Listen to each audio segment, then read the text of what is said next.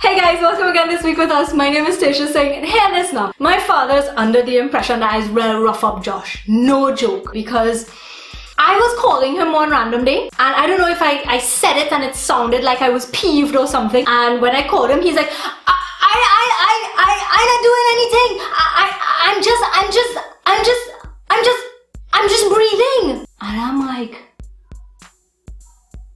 one, what the cuss were you doing? Two, you give that kind of response in front of my father and my father think I just rough you up all the time. He comes a running across, oh gosh, look how this poor child, uh, he's got rough up and he was just breathing. So he gone and he sit down with Josh and playing with his hair and he says, Tersha, you ever notice this child have a grey hair?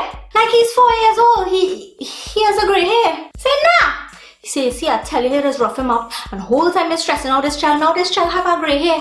Come and see. So he have me well real part in here and to flip through and find this grey hair. You know this child have a grey hair at four years old. So we're, we're discussing it, you know, my father and I. And Josh decides to make things worse for me by saying, yeah, she's stressed me out, you know. She's real stressed me out, especially when she teaches me. That is why I have it and I could not look at him any harder. My father looks up at me, sees the look on my face and says, eh!